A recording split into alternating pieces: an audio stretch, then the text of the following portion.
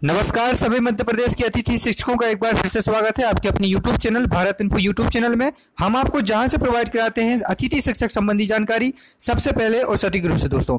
अतिथि शिक्षकों के संबंध में एक नया आदेश जारी हुआ है अभी अभी बड़ी खबर इस वक्त की निकल के आ रही है दोस्तों, आप देख पाएँगे अतिथि शिक्षकों के लिए बड़ी खुशखबरी का समय है ये। और आपको ये पूरा का पूरा आदेश जानना ज़रूरी है, किस तरीके का आदेश है।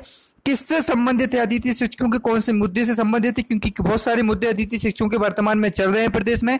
लेकिन ये आदेश किससे संबंधित है? तो पूरा वीडियो देखिएगा दोस्तों। और यदि आप चैनल पर पहली बार विज़िट कर रहे हैं और इस वीडियो को पहली बार देख रहे हैं दोस्तों तो चैनल को नीचे दिए रेड कलर के बटन को ज़रूर दबा दीजिएगा। इसी प्रकार की जानकारी आगे देखने के लिए दोस्तों। तो देख, दोस्तों, अब यहाँ आप देख पाएँगे, लिखा हुआ है मध्य प्रदेश, कार्यालय जिला शिक्षा अधिकारी छिंदवाड़ा।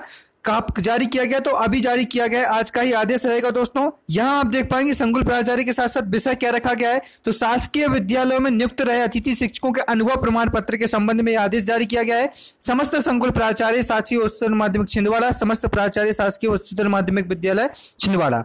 अब संदर्भ में मध्य प्रदेश शासन स्कूल शिक्षा विभाग भोपाल की पत्र जो यहाँ पर क्रमांक दिया हुआ है, इसके साथ ही यहाँ देखेंगे, विषयानुगत संदर्भित पत्र अनुसार अतिथि शिक्षकों के अनुभव प्रमाण पत्र जारी करने के संबंध में निम्नलिखित निर्देश दिए जाते हैं। तो नीचे देखते हैं भर्ती नियम दो दशमलव एक में, भर्ती नियम दो दशमलव अठारह नियम दो हज़ार अठारह में ग्यारह सात के तहत शैक्षणिक संवर्ग अर्थात सीधी भर्ती शिक्षकों के पदों के उपलब्ध रिक्तियों में पच्चीस फ़ीसदी आरक्षण रिक्तियाँ अतिथि शिक्षक के लिए आरक्षित की जाएँगी, जिनके द्वारा न्यूनतम तीन शैक्षणिक सत्र अर्थात दो सौ दिवस शासकीय विद्यालयों में अतिथि शिक्षक के रूप में अध्यापन कार्य किया हो अर्थात अतिथि शिक्षकों के लिए प्रमाण पत्र की आवश्यकता होगी। इस हेतु अनुभव प्रमाण पत्र एजुकेशन पोर्टल से संबंधित, यहाँ पर देखेंगे, अतिथि शिक्षकों की शाला में उपस्थिति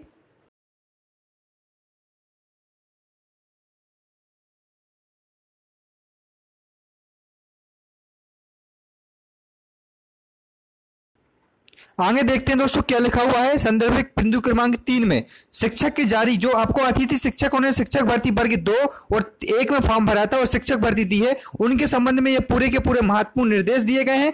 यदि आप जानना चाहते हैं, इस वीडियो को पूरा देखना चाहते हैं तो ये पीडीएफ में आपको लिंक नीचे दे दूँगा। इसके माध्यम से ये उक्त जितने भी विषय बिंदु यहाँ पर दी गए हैं, वो आपको जानना ज़रूरी होगा दोस्तों। तो इस वीडियो में इतना ही दोस्तों, ये समस्त छिंदवाड़ा विभाग के ज़िले के सभी शिक्षक विभाग में भेजा गया है। बहुत ही महत्वपूर्ण निर्देश है और यदि आप चाहते हैं इसको पूरा पढ़ना तो नीचे डिस्क्रिप्शन में लिंक मिल जाएगी। फ़िलहाल इस वीडियो में इतना ही दोस्तों।